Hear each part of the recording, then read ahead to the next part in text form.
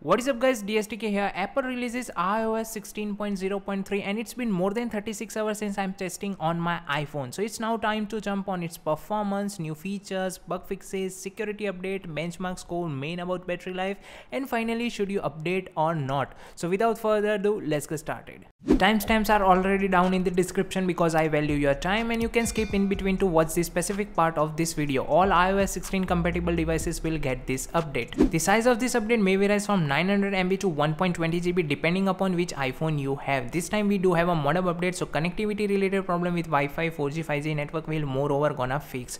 Apple soon will give a carrier update in upcoming major software update to compile with the bandwidth of 5G network in India. As iOS 16.0.3 is a normal update and contains several important security update and bug fixes. We will talk about it in a moment.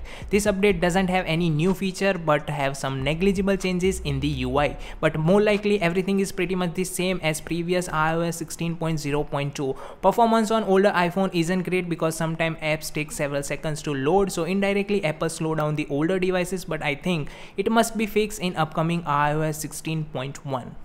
As far as the bug fixes, iOS 16 is the most buggiest update of all time with the most lackluster launch of iPhone 14 lineup ever in the history. Users are literally frustrated after spending more than $1000 and at the end what they got is only bugs. Update after update Apple is fixing the issues but the user experience isn't great with new iPhone 14 lineup. In iOS 16.0.3 Apple addresses the four major issues. First is within the incoming call and app notification may be delay or not deliver on iPhone 14 Pro and Pro Max. Look, Apple have issues with some basic feature, although it's fixed, but still you can imagine. Second is when you connect your new iPhone 14 Pro and Pro Max with the Apple CarPlay and while communicating with someone on phone call, the microphone volume was not adequate so that someone on another end can hear your voice clearly. So this thing has been resolved too in this update.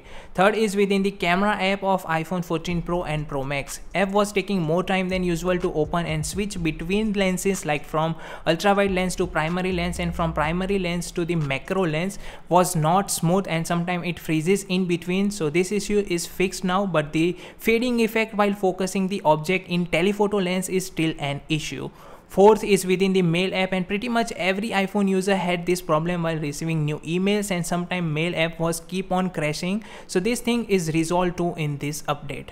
For older iPhones, there are plenty of bug in iOS 16.0.3 which is yet not addressed by Apple. I can share it one by one but this video will more likely a movie covering all the bugs in iOS 16. In short, the user experience is totally worse in iOS 16. Not a single task is working perfectly fine. So if you are currently on iOS 15.7 then it's well and good because battery life in iOS 16 is substandard ekdam ghatiya literally you will doubt whether your iphone comes with battery or not. On average i am getting 5 to 6 hour of the screen on time in normal tasks while surfing on web and while using several social media apps.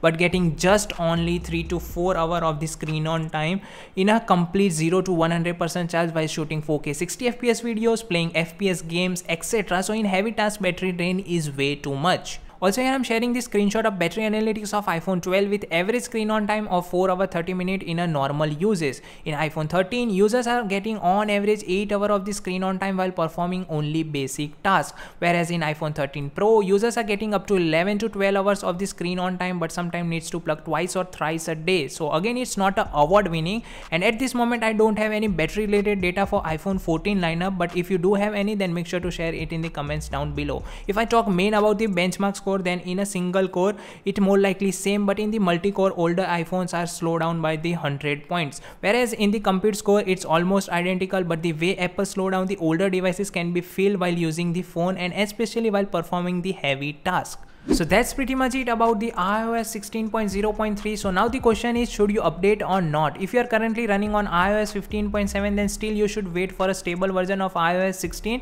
and if you are already running iOS 16 on any of your iPhone then you should definitely consider upgrading your iPhone to the latest iOS 16.0.3. If you want to know anything else then please leave it in the comment section and thank you for stopping by till the end and as always I will catch you in the next video.